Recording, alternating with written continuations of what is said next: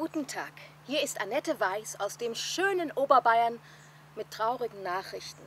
Wie wir heute erfahren haben, starb in der Nacht von Montag auf Dienstag die Grande Dame des deutschen Pornofilms, Dolly Domain. Jahrzehntelang hat sie verkörpert, wonach sich deutsche Männer sehnen. 164, 93, so lauteten ihre Glückszahlen. Dolly Domain, ein Leben wie im Rausch.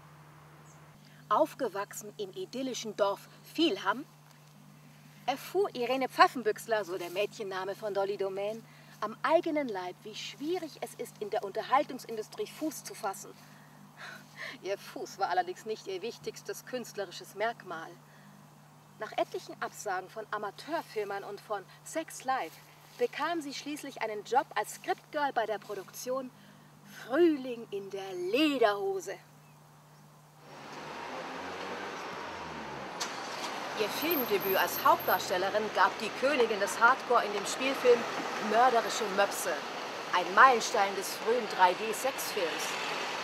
Der räumliche Auftritt der Diva konnte seinerzeit nur mit roten und grünen Brillengläsern wirklich gewürdigt werden. Unter der Regie von Wim Schenkel folgten die Sequels Mörderische Möpse Teil 2 und Rückkehr der mörderischen Möpse. Nach diesen großen Erfolgen gründete Dolly Domain ihre eigene Produktionsfirma, die Futon Film. Das erste abendfüllende Werk, Busen, Bier und Blasmusik, führte fast zum Bankrott. Mit dem zweiten Streifen besann sich Frau Domain auf ihr Erfolgsrezept und konnte das 69-fache der Herstellungskosten einspielen. Der Titel des Erotik-Blockbusters? Gesprengte Knöpfe. Die Abkürzung DO avancierte schnell zum Markenzeichen für erhebende Streifen. Dolly Domain, die angeblich nie etwas anbrennen ließ, versuchte ihr Glück auch als Kochbuchautorin. Als Spezialistin für pikant Gewürztes brachte sie mehrere Werke auf den Markt, Bände wie Rosmarin-Do oder Thymian-Do. Ein Verkaufserfolg wurde jedoch lediglich ihr Ratgeber Dill-Do.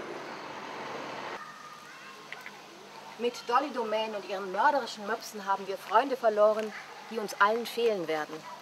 Aus gegebenen Anlass ändern wir unser heutiges Nachtprogramm. Sehen Sie um 23.30 Uhr die erschütternde Dokumentation Der Mops ist tot.